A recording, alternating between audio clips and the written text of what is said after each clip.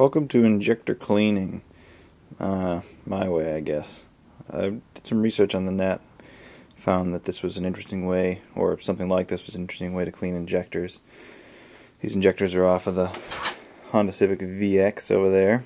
I just cleaned the the spot where they go in the top of the intake manifold pretty well from the top side. I got to take it off and clean the whole thing sometime, but not today.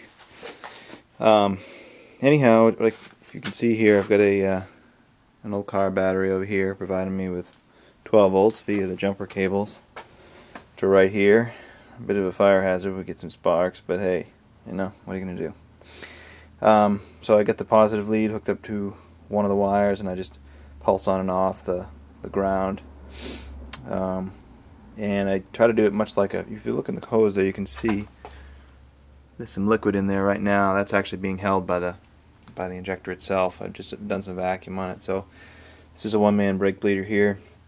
The black tube goes over to my vacuum. Happens to be a Kirby, which is pretty heavy-duty vacuum. Um, works well for this purpose. So I cycle it on and off, and I also cycle the injector on and off. Sometimes I just let it run with it on full open for a while, but of course they're made to pulse, so they get hot if you let them run too long wide open. Um, but it's a solenoid, I believe, activated, and uh, doesn't like to be held open too long. The, the, if you take it out of the fuel or don't have the vacuum going, it gets hot fast because the the fuel injector cleaner, which I'm using on the right there, cools it down as it's cleaning. But uh, this is pretty much it. Um, I judge how clean it is by how fast the fluid is uh, flowing through this clear hose here. After I do a couple of cycles on each of them, they're usually running all about the same speed. Uh, back there I've got some injectors from a parts car.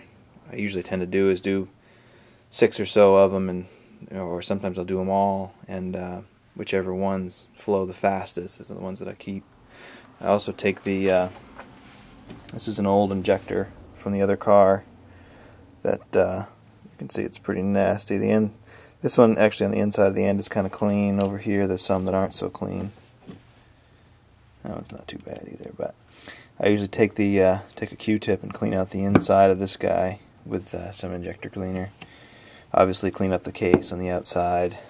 Um, replace the gaskets. These little screens that go on the top of them usually get a little a little crudded up. You can't really see real well on the inside of this guy. This one's pretty clean, but I use the spray to clean those up and uh, grab some new gaskets from the store.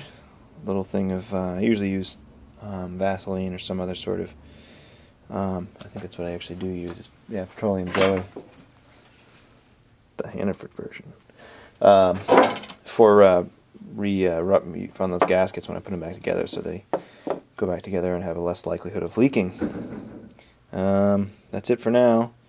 Uh, oh and you can tell by the way when I do this don't know if you can hear that in the video or not but you can hear the injector clicking on and off. It seems to get pronounced louder um, the cleaner it is. I think that's because it's going, the valve is actually opening farther. Um, that's just a guess.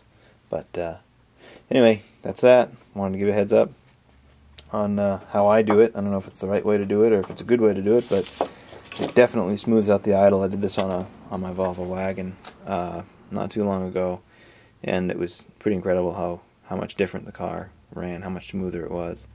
So I'm guessing, you know, that helps power and fuel economy. So that's all for now.